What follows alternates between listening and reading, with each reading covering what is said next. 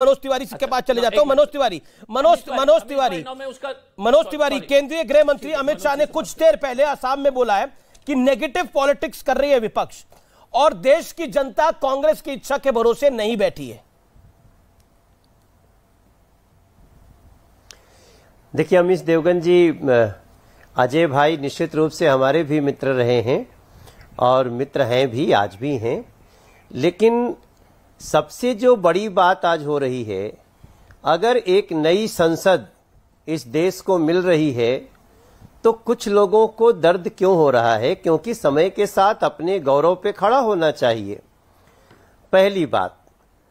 दूसरी बात बहुत सही आपने कही, जो मैं कहना चाहता हूँ कि पिछले जब से मैं सांसद बना हूँ, अजय भाई भी पहले सांसद रहे हैं जब से मैं सांसद बना हूँ, अक्सर देखता हूँ। यहाँ तक कि राष्ट्रपति जी का संयुक्त अधिवेशन होता है, उसको भी कांग्रेस और कई लोग उसका विरोध करते हैं, खासतौर से कांग्रेस।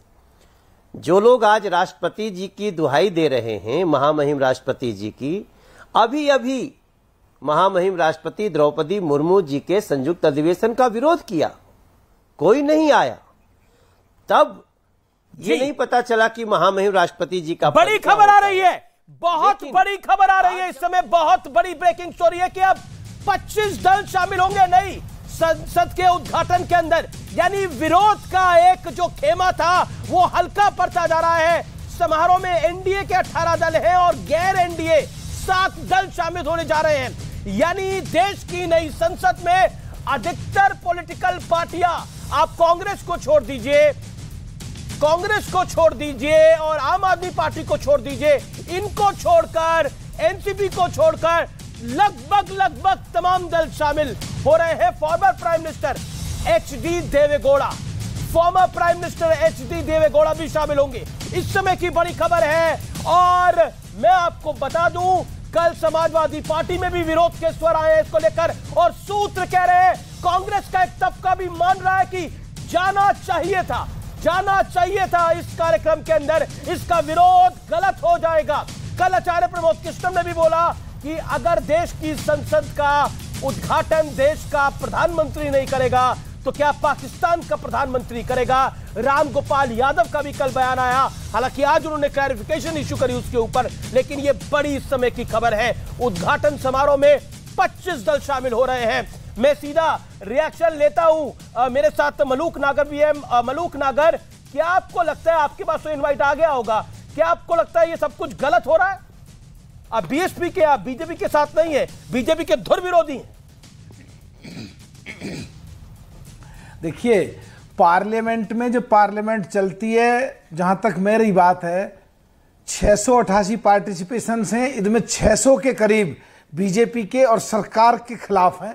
कुछ ऐसे हैं जो सही बात है, हम सही बात पर समर्थन करते हैं, गलत बात का हम सौ प्रतिशत विरोध करते हैं। जहाँ तक बात है तो पार्लियामेंट का भी विरोध कर रहे थे, नई पार्लियामेंट बननी नहीं चाहिए।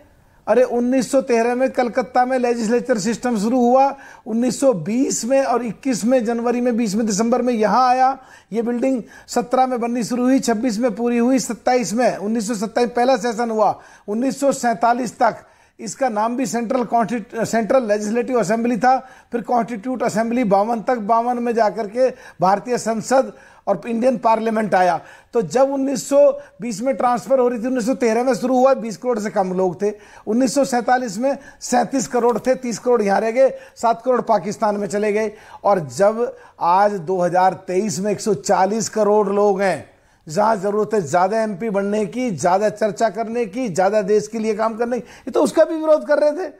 ये तो जहाँ तक मुर्मू जी की बात है महामहिम राष्ट्रपति जी की, कुछ दिन पहले चुनाव हो रहा था, इनके जो नेता सदन है, हमारे साथी आधिर रंजन साहब, राष्ट्र की पत्नी तक कह दिया था। क्या करा इन्होंने? पार्टी से निकाला? वही दलित हैं। वही आदिवासी हैं, वही सारे देश के लोग हैं। और जहाँ पिछले दिनों, पिछड़े, जिनमें जाट गुजर यादव पाल सैनी, कश्यप सुना लोहार कुमार सब आते हैं, धनखड़ साहब चुनाव लड़ रहे थे, उसका भी विरोध करा, इन्होंने दलित का भी विरोध करा, पिछड़ों का भी विरोध करा, आदिवासी का भी विरोध करा। हमने पार्टी और पॉलिटिक्स से ऊपर दलित और आदिवासी का सपोर्ट करा, हमने पिछड़े का सपोर्ट करा। जहाँ तक बात है, आज देश की पार्लियामेंट की, उद्घाटन की, पूरे संसार में आज हमारा देश तरक्की के रास्ते पर कोरोना के बाद तेज़ी से लगातार ऊपर बढ़ रहा है। तो पाकिस्तान की तरह हमारे देश की छवि बाहर खराब नहीं होनी चाहिए, ये मैसेज नहीं जाना चाहिए कि अंग्रेज़ों की बनाई गई पार्लियामेंट के बाद अगर देश की सरकार ने अपने देश की जनता की गाढ़ी कमाई के टैक्स के पैसे से संसद बनाई तो उसमें विपक्ष और विपक्ष अलग अलग खड़े हैं। सही बात का समर्थन करना चाहिए, गलत बात पर विरोध करना चाहिए। जहाँ तक बात है, हमें कई बार कोई बी टीम कहता है, कोई कुछ कहता है, कोई कुछ कहता है, हम एक बात कह रहे हैं। हम हमेशा देश के लिए, गरीब जनता के लिए कमज़ोर, अकलियत और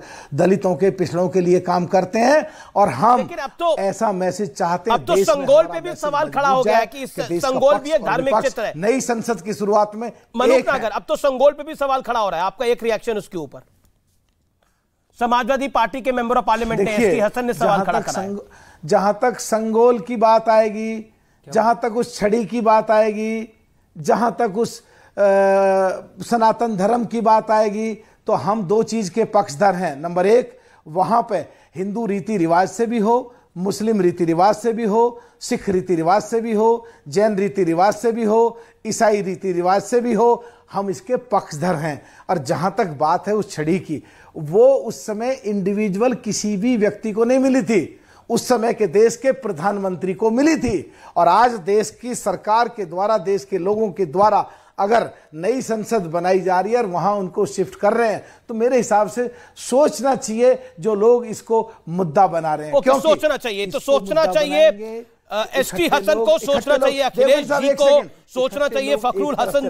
जी को और अगर बीजेपी को कमज़ोर करना है। और सत्ता में विपक्ष को वापसी करनी है तो उन लोगों को जो एक तरफ़ दूसरी तरफ़ चले गए थे वापस लाने के लिए वोट लेने के लिए विपक्ष को मज़बूत करने के लिए सरकार में लौटने की संभावनाओं के लिए सही बात को सही गलत को गलत फखरुल हसन, फखरुल हसन जवाब। जैसे अपनी पार्टी का फखरुल हसन बात का जवाब। मलूक नागर की बात का जवाब। मलूक नागर जी आपने अपनी बात को। रख लिया।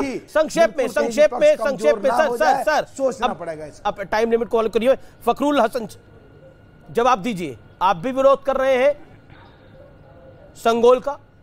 आप भी विरोध कर रहे हैं नई नहीं संसद देखिए संगोल नहीं नई संसद का विरोध नहीं है ना संगोल का विरोध है।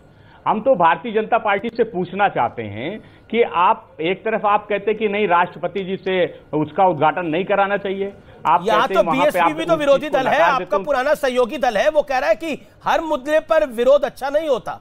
ये देश का मामला है जी। नहीं, सौ नहीं, साल बाद संसद बन रही नहीं है। नहीं नहीं अमित जी अमित जी मैं तो दूसरी बात कह रहा हूँ। मनोज तिवारी जी बैठे हुए हैं और दिल्ली में एलजी के जो पावर हैं वो सरकार के ऊपर हैं। आप अरविंद केजरीवाल जी को काम नहीं करना देना चाहते हैं। वो चुने हुए मुख्यमंत्री हैं। आप उनके खिलाफ जब संविधान पीठ से फैसला आता है तो आप उनके खिलाफ अध्यादेश भी आते आप हैं। आप पूरा ऑर्डर पढ़िए ना सर। समाजवादी मेरा मेरा निवेदन है आप पूरा ऑर्डर पढ़िए ना। उस पूरे ऑर्डर के नीचे जो आखिरी दो लाइनें पढ़ तो लीजिएगा आपको पता लग जाएगा। नहीं, वो विषय नहीं है ना। सुन लीजिए। नहीं नहीं अमित जी, मैं विषय पे ही आऊँगा, मैं विषय पे ही आऊँगा, विषय पे ही आऊँगा।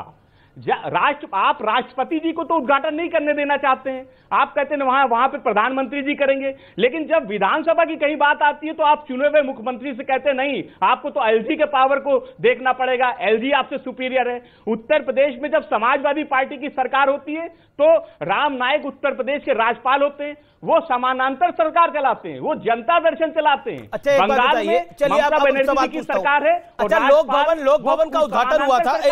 एक एक बात तो- बताइए। लोक भवन का उद्घाटन हुआ था लखनऊ में। किसने करा था उद्घाटन? किसने करा था उद्घाटन? लोक भवन लोक भवन का उद्घाटन लोक भवन का उद्घाटन माननीय मुख्यमंत्री जी ने किया था। मैं तो दूसरी बात कह रहा हूँ।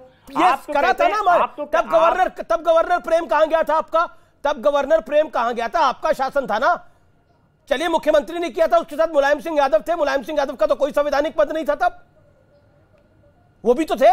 चचा भी थे तब। मैं तो चचा भी थे जी अमित बताइए। जी बात तो नहीं बात तो ये नहीं मतलब एक तो परिवार करे तो उद्घाटन करेगा लेकिन देश का प्रधानमंत्री मोदी नहीं कर सकता सदन का उद्घाटन।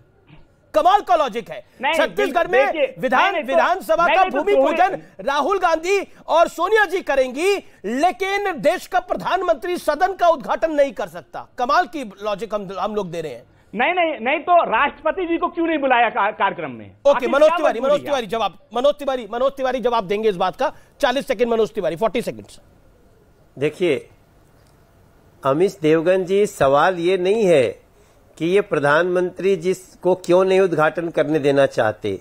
सवाल ये है कि ये परेशान है कि अमेरिका के राष्ट्रपति भी छह सात कदम चल करके प्रधानमंत्री से मिलने आते हैं भारत के। इनकी परेशानी यह है कि ऑस्ट्रेलिया के प्रधानमंत्री भारतीयों के कार्यक्रम में भी आके बैठ जाते हैं। इनकी परेशानी ये है कि देश के वो, दुनिया के वो देश जो भारत के प्रधानमंत्री का और भारत का इतना सम्मान करते हैं कि वो पैर भी छू लेते हैं अपने विनम्रता में।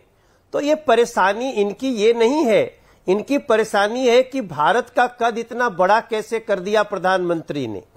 क्योंकि मैं तो सदन में बैठा जब संयुक्त सदन को राष्ट्रपति जी संबोधित कर रही हैं, उनका जब कुछ लोग विरोध कर सकते हैं और वही लोग फिर बाद में राष्ट्रपति जी की बात करें तो ये समझ में आ जाता है कि ये विरोध पार्टी है। इनका काम ही है विरोध करना। बहरहाल, मैं बड़ी विनम्रता से बोलना चाहता हूँ कि अपने हिसाब से सभी कोई अपने बहस कर ले, लेकिन संसद, नया संसद भारत के आत्मनिर्भरता का प्रतीक संसद और दुनिया के सभी संसद से यूनिक संसद अगर वो भारत को मिल रहा है नरेंद्र मोदी जी के समय में मिल रहा है उसके उद्घाटन में सभी लोग शामिल हों और नरेंद्र मोदी जी का चाहे जितना विरोध करें भारत के गौरव का सम्मान करें हमारी ये प्रार्थना है। जी मैं दिल्ली के मुख्यमंत्री जी को भी काम करने दीजिए आप। मुख्यमंत्री इनसे पहले भी बहुत सारे थे भाई साहब। और इनसे बहुत पहले तो इसी तरह से काम किए। अब जिसको काम ही नहीं करने आता है। चाहते हैं। जिन राज्यों में आपकी सरकारें नहीं है वहाँ तो आप राज्यपालों की सरकार चलाना चाहते हैं। लेकिन हम जब पहले भी बात करते हैं तो आप आप समाजवादी पार्टी में आम आदमी पार्टी में? नहीं आप अगर आम आदमी पार्टी आना चाह रहे हैं तो फिर अलग बात है। का निर्माण हुआ है। लेकिन आ, मैं नहीं नहीं आपको तो, लगता तो है कि अभी अभी एलजी बने हैं ऐसा नहीं है। उन्नीस सौ तिरानवे से यही व्यवस्था चल रही है भाई साहब। नहीं है सर ये सर आप नहीं करने मुझे लग रहा आपको डिबेट का पता है ऑडियो डाउन करिए देखो ना एक एक करके सब जेल में जा रहे हैं फकरूल वो क्यों नहीं बेल पे आ जा रहे हैं? कराएँगे। वो वहाँ जो पे जीसीआर कानून बताएँगे। चिंता करवाइए पीसीआर जिस व्यक्ति को मैं बोलूँ उसी की आवाज़ है फकरूल जी फकरूल जी ये तरीका नहीं है सही ना आप विषय पर रहिए, आप अलग विषय से बोल रहे हैं, कोई मतलब नहीं है। दो बार ये आपने बोल दिया, उसका जवाब आपको मिल गया। ये विषय ही नहीं है लेफ्टिनेंट गवर्नर और आम आदमी पार्टी का। ऑर्डर की कॉपी पहले पढ़ लीजिए, फिर उसके बाद आ जाइए, लेकिन विषय वो नहीं है आज। मैं मनोज तिवारी आपके पास आता हूँ, लेकिन डॉक्टर अजय कुमार, अब तो विपक्ष में भी फूट डल गई 25 दल शामिल हो रहे हैं 18 एनडीए के हैं, सात विपक्षी दल है। मेरा बड़ा सवाल आपसे यह है, जो बात मलूक नागर ने बोला, हर चीज़ का विरोध नहीं हो सकता। और इसीलिए विपक्ष की क्रेडिबिलिटी गिरती जा रही है, जो मलूक नागर ने सवाल उठाया, जो बहुजन समाज पार्टी के मेंबर ऑफ़ पार्लियामेंट है। तो देखिए, अब शांति से अमित जी सुन लीजिएगा। पहले तो 19 पार्टी विरोध कर रहे हैं और 19 पार्टी में किसी तरह का जो है, कोई अंतर सभी लोग का एक ही मत है कि हम इस इस उद्घाटन में शामिल नहीं होंगे। दूसरी बात है कि, दूसरी बात है कि मैं आप, एक परिपक्व रूप से मैं एक मेच्योर तरीके से सोचिए। राज्यसभा का अध्यक्ष है उपराष्ट्रपति। अब उपराष्ट्रपति को इसलिए नहीं बुलाया गया क्योंकि फिर वो ऑर्डर ऑफ़ प्रेसिडेंस में प्रधानमंत्री से ऊपर है। अब आप जितने भी इसको जो घुमा फिराने का कोशिश कीजिएगा, सच्चाई यह है कि उपराष्ट्रपति राज्यसभा का हेड है। और आप एक मेच्योर जर्नलिस्ट हैं, जब आप टीवी में आकर बोलते हैं अमित जी, कि कांग्रेस में कौन बोल रहा है? इस तरह का मैं अनुरोध करूँगा, इस तरह का अफवाह नहीं फैलाइए, क्योंकि आप तो हमेशा, मुझे तो विश्वास है कि आप तथ्य पर जाएँगे। हमने तो इस तरह का किसी का स्टेटमेंट नहीं देखा। मैं ये भी बोल सकता कि भाजपा में बहुत सारे लोग हैं जो बोल रहे हैं कि प्रधानमंत्री जी को नहीं करना चाहिए था। बट इस तरह का टिप्पणी देना उचित नहीं है। तीसरी बात है कि मनोज जी ने कहा हमारे मित्र मनोज जी ने कहा कि आचार्य प्रमोद कृष्ण ने बोला है। विदेश में आचार्य प्रमोद कृष्ण ने ट्वीट करा जो प्रियंका जी के एडवाइजर हैं। उन्होंने बकायदा ट्वीट करा है कि देश की संसद का उद्घाटन अगर देश का प्रधानमंत्री नहीं करेगा तो पाकिस्तान का प्रधानमंत्री करेगा। मैं अपने अनुसार नहीं बोल रहा मैं तथ्यों के हिसाब से बोल रहा हूँ। अगर आचार्य प्रमोद कृष्ण को आपने पार्टी से बाहर कर दिया तो मेरी जानकारी नहीं है। ओके एक मिनट एक मिनट एक मिनट एक मिनट। पार्टी के बाहर है वर्तमान में तो कम से कम आचार्य प्रमोद जी तो पार्टी से बाहर है वर्तमान में आप उसका ट्विट, उनका ट्विटर हैंडल देख लीजिए। और कंट्रोवर्शियल टिप्पणी देना उनके उन देखिए वो एक स्वतंत्र व्यक्ति हैं वो भी कुछ भी कर सकते हैं वो कांग्रेस पार्टी के सदस्य नहीं है जो मुझे जो जानकारी अभी है। अगर हम हम गलत है तो हमको जो है कृपया करेक्ट कर लीजिए। वो तो प्रियंका गांधी के है है। समाज पार्टी के हमारे नहीं भाई साहब आप सब चीज़ गलत इसलिए मैं बोल रहा हूँ आप इतने परिपक्व पत्रकार होने के बावजूद भी आप इस तरह का बातें मत कीजिए अरे आप ही Verify की कर- आप- नीचे वेरीफाई कर लीजिए हाँ, प्लीज़ ये कांग्रेस पार्टी की जानकारी है। मैं कांग्रेस पार्टी की तरफ़ से राजनाथ सिंह के खिलाफ चुनाव लड़े आचार्य प्रमोद किशोर कांग्रेस में नहीं है। अमित जी एक मिनट एक मिनट। एक मिनट एक मिनट एक मिनट। तो breaking अमित news जी, दे रहे हैं। इस शो में आने के लिए एक ही कंडीशन एक ब्रेकिंग न्यूज़ नहीं है पुरानी न्यूज़ है। और मैं इसलिए मैंने मैं इसलिए देखिए आई मैं बहुत दुखी हो जाता हूँ इस तरह का बहस से। मैंने, मैं टीवी में इसलिए आया तो आपके चैनल में इतने साल बाद आया हूँ, इसलिए इसी बात पर कि लेटेस्ट थोड़ा सा शांति से हम लोग बात करें। तो प्लीज़ सुन लीजिए। पहली बात यह कि प्रमोद आचार्य जी जो है, कोई दूर दूर तक प्रियंका जी से कोई मतलब नहीं है उसको वेरीफाई कर लीजिए और कल हमको फिर से शो में बुलाइए। अगर हम सही बोल रहे हैं तो आप सार्वजनिक रूप से बोल दीजिए कि आप सही थे।